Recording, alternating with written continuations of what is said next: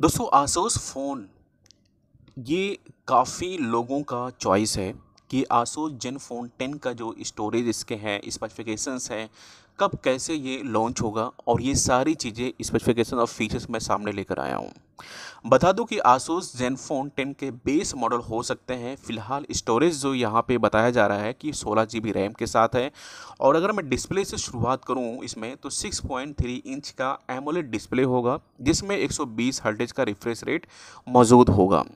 Processor की बात करें तो एक तगड़े परफॉर्मेंस के लिए आपको Snapdragon eight generation two processor से मिलेंगे, जो काफ़ी कुछ ये प्रूफ करता है कि आपके लिए कितना बेहतर होगा गेमिंग के लिए। स्टोरेज की बात करें तो कंपनी कुछ स्टोरेज ऑप्शन लाएगी, जैसे कि सोलह जी रैम है और पाँच सौ बारह जी तक स्टोरेज मिलेंगे।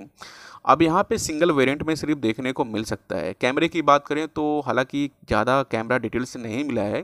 कहा जा रहा है कि स्मार्टफ़ोन में 200 मेगापिक्सल का प्राइमरी सेंसर मौजूद होगा, वहीं ओआईएस टेक्निक पर भी सपोर्ट करेगा। डिवाइस लेटेस्ट एंड्रॉइड थर्टीन पर काम करेंगे। कलर ऑप्शन की बात करें तो तीन कलर के ऑप्शन इसमें है, उम्मीद जताई जा रही है। आसूस जन फ़ोन 10 में आई पी सिक्सटी एट का रेटिंग है, जिसकी मदद से धूल और पानी से अच्छे से बचाया भी जा सकता है। इसका मतलब डुबा के रखने का नहीं।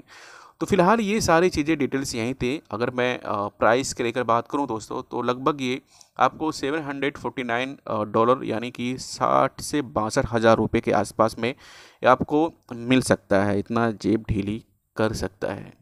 अब Zen ten Zenfone ten ले रहे हैं तो शायद है सिक्सटी टू थाउज़ेंड काफ़ी कुछ कम नहीं होगा। तो ज़्यादा ही है, और फिर भी प्राइस के हिसाब से फ़ोन की जो स्पेसिफिकेशन डिटेल लीक्स है, सही ही है। लेकिन दोस्तों, जो जेन फ़ोन टेन है, काफ़ी लीक्स और रोमर से बने थे, इसलिए ज़रूरी था कि इसके लीक्स और सामने आ भी गए हैं लोगों के लिए।